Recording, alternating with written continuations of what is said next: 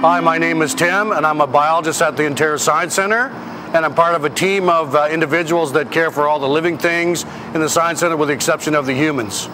So uh, we're in the Living Earth uh, Hall, and um, behind me is the big globe, and then around my neck actually is our resident black rat snake, and he um, has been here for, we got him when he was a year old, and actually this month he's going to be 13. And when we got him, he was just uh, uh, a foot long, and now he's over six feet, and he's actually had the opportunity to interact with uh, thousands of visitors over the years, from March break programs to educational programs, whatever. So one of the most popular um, specimens we have here, and luckily we can use him for education because he's very friendly.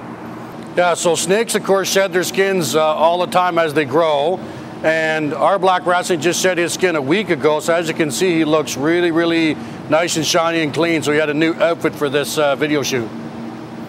It's interesting as he's gotten older. He used to be actually almost jet black, right? As he got older, he got this more of this gray pattern, but even you can see where it's actually black, it's like a gray pattern around the black scales. So it shows up pretty well.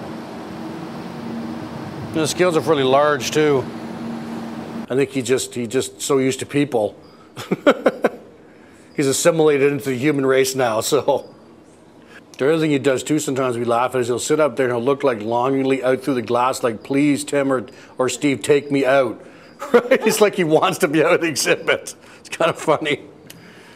That's an amazing thing about these guys, eh, because these aren't like a ground snake, they're arboreal.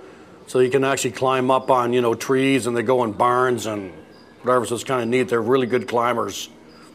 But he can climb up the corner of the exhibit or whatever, right? His scales are, and he's that strong, so it's kind of neat.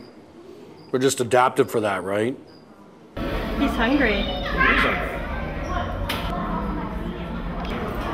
He is a rat snake. Yes.